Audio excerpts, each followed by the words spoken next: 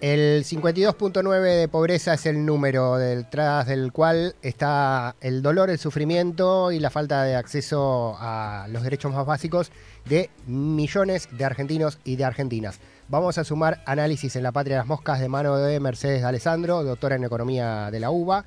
La tenemos en comunicación. Mercedes, muchas gracias por atendernos unos minutos. ¿Cómo te va?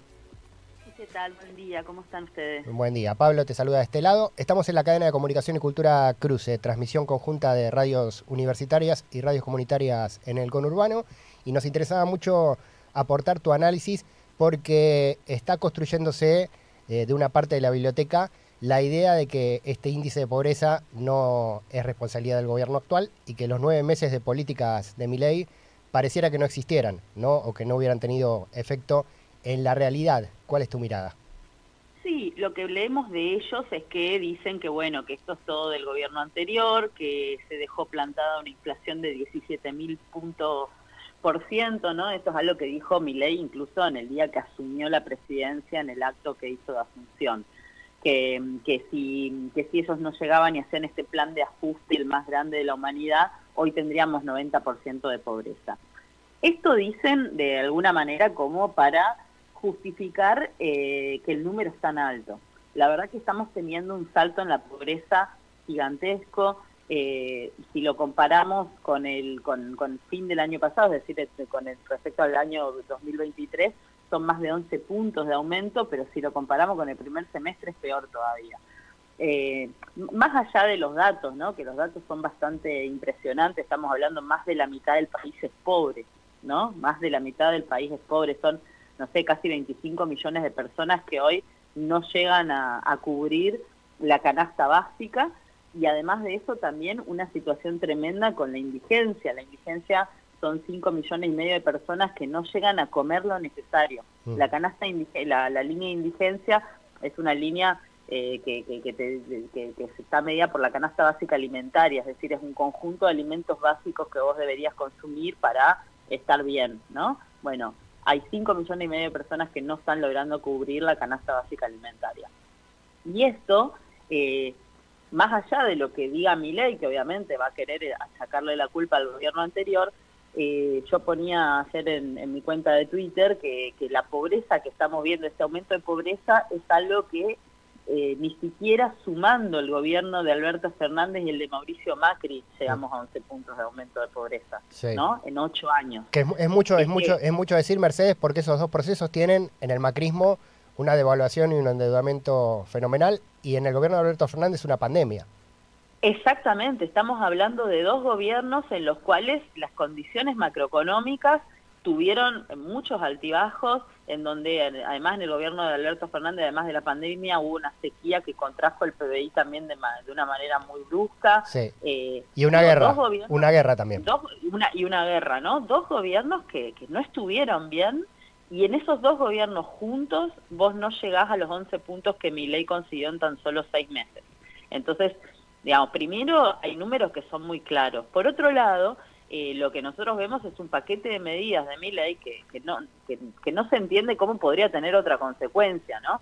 Estamos diciendo que el, el 12 de diciembre, dos días después de asumir, Caputo estaba anunciando una devaluación que obviamente fue a precios, 25 puntos de, de inflación en diciembre. Olvidémonos de la inflación de diciembre, digamos, que es compartida con masa, no importa, ¿no? Miremos enero en adelante. Enero tuvimos 20 puntos de inflación, después tuvimos 12 puntos de inflación, hoy están 4. Yo no sé si la gente piensa por ahí que, no hay inflación. Mi ley en el presupuesto que llegó al Congreso para, para el año que viene dice que este año la inflación va a cerrar en 104 puntos por ciento. 104. Es decir, 104 inflación solamente en este año, dice mi ley. Yo creo que va a ser más porque para que cierre en 104 ahora debería ser un punto y medio acá a fin de año, cosa que no lo vemos tampoco, ¿no? Pero lo que quiero decir es que gran parte de esa inflación obviamente va a parar a los alimentos, por eso también este aumento de la indigencia, la indigencia se duplicó de un año al otro, se duplicó la cantidad de gente que no consigue cubrir la canasta básica alimentaria. Eh, vos pensás que en una familia de bajos ingresos, que vive con una changa, que recibe la asignación universal por hijo, la tarjeta alimentar, gran parte de su ingreso va a parar a, lo básico, ¿no? A la comida, al transporte, a pagar un alquiler, a comprar la garrafa de gas. no estamos hablando de lujos y gastos excéntricos cuando estás viviendo con 200 mil pesos, 300 mil pesos. Claro. Eh, y cuando los alimentos te aumentan de precio, lo que vos ajustás es la, calidad de tus alimentos, la cantidad de veces que comes por día. Eh, UNICEF hizo una campaña hace poco, hace cosa de un mes, en la que decía que, eh, según sus encuestas, había un millón de niños y niñas que se van a la cama sin dormir, sin comer. Mm. Eh, y que hay 10 millones de pibes con respecto al año pasado que dejaron de comer la misma cantidad de carne, la misma cantidad de verduras, de leche, ¿no? Entonces nosotros vemos un plan en el cual hubo una evaluación que se trasladó a precios. Esos precios sobre todo impactaron en los alimentos, que es lo que estamos viendo acá. Eh, ese aumento de precios junto a la, baja en la obra pública, junto a la baja en las transferencias a las provincias, a los presupuestos universitarios, ya que hablamos también de radios universitarias. Eh, eh, todo esto generó una, una recesión gigantesca. Tenemos tres puntos y medio de caída de PBI en lo que va del año. Eh, se espera que para fin de año siga cayendo esto porque no estamos viendo el rebote que prometió mi ley. Eh, esta caída del PBI va acompañada de caída de inversión, caída del gasto público, caída del consumo, caída de las importaciones. O sea, lo único que subió en Argentina son las exportaciones porque con respecto al año pasado tuvimos sequía, ahora hay más saldos de exportar, ¿no? Hay más cosas que se produjeron para exportar. Eh, pero las importaciones también cayeron porque Argentina para producir necesita importar bienes y como cayó toda su producción, también dejó de importar esos bienes e insumos del extranjero. Eh, cuando miramos en el consumo, ¿qué es lo que cayó? Los rubros que más cayeron este año son los alimentos y los medicamentos. Mm. Quiere decir que la gente está ajustando con sus ingresos el consumo de los alimentos, como decía recién, o su calidad, y de los medicamentos. Eh, ajustó un tercio el ajuste va a los jubilados con el bueno esto lo estuvimos viendo todas estas semanas con las movilizaciones con el veto que hizo mi ley a una fórmula que le daba 15 mil pesos de aumento a los jubilados. O sea, hoy los jubilados pensá que están 300 pesos por arriba de la canasta básica, o sea, están 300 pesos por arriba de la pobreza. Sí. 300 pesos por arriba de la pobreza. Son 5 millones de jubilados que reciben la mínima que están ahí, en el borde de la pobreza. Claro, ese... Entonces, si uno mira todo ese panorama, ah. y, y es obvio que la pobreza te va a aumentar de esta manera. Entonces, es difícil pensar que esto se debe a el plan platita, como le dice Milei, o, o cosas por el estilo. Ellos dicen, bueno, nos dejaron armar una bomba de tiempo. Eh, podemos discutir un montón de cuestiones con respecto a la macroeconomía. Seguro que no fue fácil el país que, que asumió Milei, pero Milei asumió diciendo que el ajuste lo iba a pagar la casa. Lo que nosotros estamos viendo es que el ajuste lo están pagando los sectores más vulnerables de nuestro país, lo están pagando los jubilados, lo están pagando los estudiantes, lo estamos pagando también con la obra pública que no se está realizando, que es no mantenimiento de escuelas, de, hospitales. Estamos viendo crisis en la salud pública, es decir, eh, acá los únicos que se están viendo beneficiados son los ricos les bajaron el impuesto a los bienes personales, los aplauden cuando fugan dinero, hay un blanqueo de capitales que no tienen ningún tipo de penalidad, les perdonan todo. Vos podés ser Sofía Clerici y estar en medio de una causa judicial por enriquecimiento ilícito y por un montón de quilombos, igual podés blanquear guita pero eh, sos un monotributista social y te van a ir a contar las cosillas a ver si podés tener ese monotributo o no. Sí, eh, es un plateo medio difícil, ¿no? Totalmente. Bueno, la ecuación que cuenta Mercedes Alessandro, que bien puntualizás, eh, es muy clara, ¿no? cada punto de pobreza, cada nuevo pobre en la Argentina tiene que ver con medidas que se fueron tomando en el gobierno de Javier Milei y que engrosan la pobreza estructural que, que tiene el país. en términos económicos, te pregunto, eh, también da vueltas un eslogan oficial de y si sale bien, instalan ahí la, relación entre todo este costo que está pagando la sociedad y un posible futuro de, bueno, vos dijiste el rebote que no pasó todavía.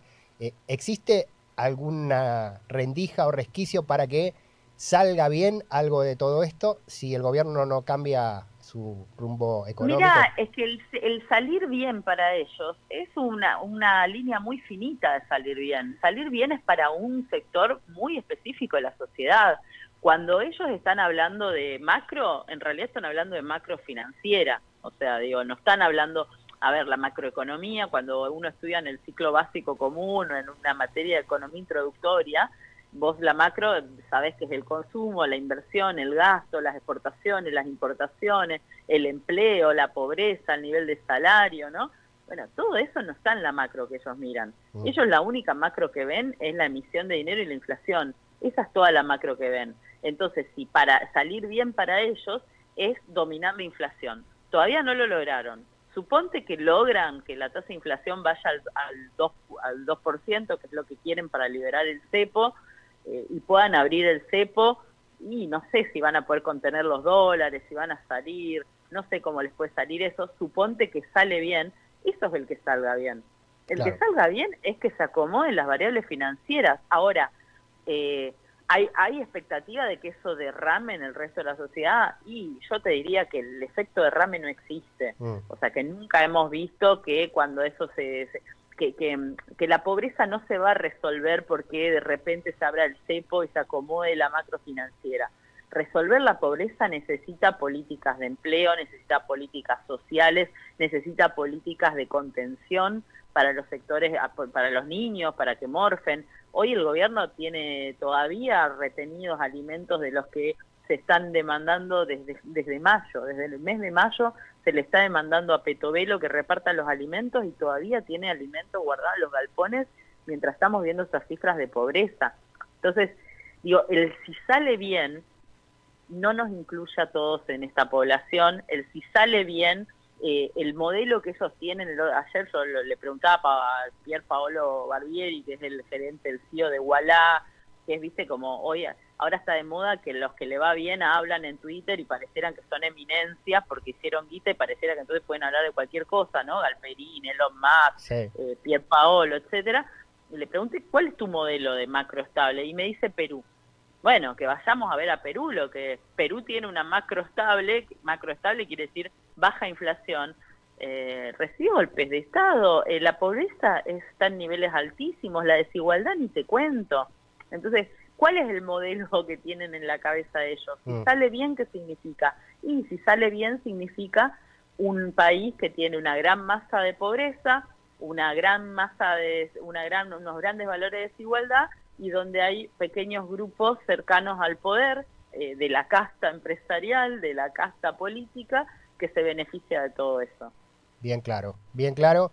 Lo más triste, Mercedes, es que este, esta teoría del derrame, eh, Argentina ya la experimentó, ya la experimentamos en muchas oportunidades y seguimos repitiendo por el mismo camino de promesas, ¿no? Eh, la vivimos muchos eh, carnalmente y presencialmente y quien no, bueno, puede leer eh, rápidamente la historia del país, sin embargo, la zanahoria a veces sigue funcionando en, en los temas políticos, en elecciones y procesos continuos. por último, agradeciéndote todo este tiempo que nos dispensaste, Mercedes de Alessandro, doctora en Economía, eh, ¿Qué ves para lo que viene, para, para el corto plazo, con las medidas de mi ley? Ahora Sturzenegger tiene su reforma laboral, que también es una de las repetidas promesas históricas de que flexibilizando las condiciones laborales, Argentina crece. ¿Qué ves de las variables? Yo veo muchos desafíos abiertos al mismo tiempo. Vos mencionabas la reforma laboral. La semana que viene tenemos una gran marcha universitaria porque mi ley quiere vetar el financiamiento educativo, que es 0,14 puntos de PDI, o sea, nada. Piensen que el, la, baja de bienes personales fue 0,4, o sea, podrías no haberle bajado el impuesto a los más ricos y financiar el sistema educativo. La plata que se lleva Galperín por subsidios del Estado, por mercado libre, es equivalente al funcionamiento de todo el sistema universitario en la Argentina. Para mí los desafíos que tenemos realmente es empezar a construir una alternativa porque esto eh, lo único que hacen es todas las semanas abrirnos un frente nuevo. El miércoles hubo una, movilización para líneas argentinas, están los jubilados eh, todavía luchando para tener una, recomposición de sus ingresos, tenés los universitarios movilizándose para defender la universidad pública y gratuita, eh, tenemos una reforma laboral que seguramente va a hacer que la CGT tenga que movilizarse o tenga que hacer algo porque es una reforma laboral completamente regresiva. En el medio de eso ya nos anunciaron que en el verano va a haber cortes de luz programados porque no hay energía suficiente, ¿no? Digo, los salarios siguen planchados, por más que la inflación baje, el poder de compra y el, poder adquisitivo no se está recuperando, eso se ve en la caída del consumo, empresas que cierran. Entonces lo que digo es, tenemos unos, un montón de frentes abiertos de acá fin de año, yo creo que lo que hay que empezar a trabajar son alternativas para cómo nos vamos a parar frente a esto, porque es realmente ya no se puede sostener, ¿no? Eh, yo no, no, no soy una, una dirigente política como para decirte qué y cómo, pero sí eh, eh, creo que tenemos que aportar desde todos los puntos de vista, desde la comunicación, desde cambiar los sentidos. Vos, vos lo decías muy bien, ¿no? Te instalan y te, te, te, te están martillando con ideas que, que después terminás hasta dudando vos de tus propias convicciones, ¿no? Mm. Tenemos que, tratar de, de, reafirmarlos en lo que en lo que sabemos y en lo que en la historia que tenemos en la Argentina. No es la primera vez que tenemos planes de ajuste. Eh, eh, la diferencia esta es la violencia, la rapidez que tiene este plan de ajuste y también el desánimo generalizado que hay alrededor, ¿no? Porque se ha perdido un poco la, no sé, está un poco planchado el el candor popular y la resistencia frente a estas cosas. En, en, el 2001 teníamos un montón de gente en la calle, los que pasamos por esa etapa siempre tenemos esas imágenes como muy representativas. Eh, en otros momentos hubo más fuerzas políticas que pudieron decir esto no va más y hay que transformar esto, llamado elecciones anticipado, etcétera. Hoy lo que estamos viendo es un, desánimo y un desco y también una dirigencia que no está contribuyendo a, reagrupar, a organizar, a movilizar frente a algo. Eh, creo sí, tengo expectativas en que la marcha universitaria sea muy imponente y muy importante, pero bueno, no alcanza tampoco con eso, ¿no? Entonces creo que, que tenemos muchos desafíos abiertos, que hay que seguir fortaleciendo las ideas, eh, dando la batalla cultural, porque nos vienen ganando en esa batalla cultural, nos vienen ganando en instalar que la justicia social es injusta, que los empresarios son benefactores sociales, que va a haber derrame, que hay que esperar y hacer este sacrificio porque después vienen los brotes verdes y la lluvia de inversiones, como ya nos decía también Macri. Bueno, yo creo que ahí es donde tenemos que, seguir fortaleciendo nuestras ideas, nuestras fuerzas y reagrupando para, para, para recuperar un poco de espacio porque, porque realmente creo que lo que se viene para adelante no, no, no, no veo mejora, sinceramente, por lo menos para, para los trabajadores eh, y para los sectores en los que yo me veo representada, ¿no? Son, digo, si fuera Caputo y sus amigos estaría feliz de la vida porque creo que ellos sí están apuntando a cumplir con los compromisos de deuda, con renegociar con el Fondo Monetario Internacional, con, con, con abrir el control de capitales, digo, si yo fuera amiga de Caputo estaría bastante tranquila porque ahí hay muchas medidas que pueden salir o no, pero seguramente no van a ser los más perjudicados, eso está claro. Si hay alguien que no se perjudica en este país son los que tienen el negocio, los que están en el negocio especulativo, y más cuando está Caputo al frente. Sí, totalmente. Y no es la primera vez que Caputo está al frente encima, también repetida figurita. Mercedes. No, no solo Caputo, también es Sturzenegger, como os decía. Claro, totalmente. Mercedes, muchas gracias. Claridad absoluta para contar eh, variables económicas que siempre o muchas veces quedan muy lejos de, la comprensión eh, popular nuestra, ¿no? De, los comunes, que no manejamos ni la macro ni la micro, pero vamos al supermercado o recibimos la boleta de la luz y nos agarramos la cabeza y aún así nos siguen instalando hashtags que nos hacen dudar de esa realidad concreta que vemos en la economía cotidiana, familiar y local y nacional. Te agradecemos mucho. Que decís, con, eso termino, eso que decís me parece clave. La economía es eso que te pasa todos los días, no es un discurso complejo que no entendés. La economía es lo que te pasa todos los días y si no te resuelven eso no están resolviendo nada. Entonces eso hay que, hay que revalorizar hay, hay personas que saben mucho más de economía que los que están hoy en el gobierno que no saben el precio de un tomate ni un paquete de huevos. Mm. Eh, muchas gracias por la comunicación y seguimos en contacto. Gracias a vos por el tiempo. Mercedes Alessandro, doctora en Economía de la UBA. Bueno, impecable el recorrido, porque con números, eh, con números también, eh, porque la economía tiene un condimento, tiene un porcentaje de composición matemática. Vos haces esto y el resultado es esto. Pero al haber personas detrás, al haber seres humanos, al haber una sociedad, no siempre 2 más 2 es 4. No siempre dejar de emitir o reducir el déficit es bajar la inflación. No siempre, porque son fuerzas vivas las que componen una sociedad que se rige bajo esos preceptos de la economía, todo lo que pasa en relación a las variables que nos afectan todos los días. Explicación, la verdad me parece impecable. Eh, una clase de Mercedes de Alessandro, doctora en Economía de la UBA aquí en la Patria de las Moscas, también con el pensamiento político obviamente atraviesa la economía, porque la economía también es política.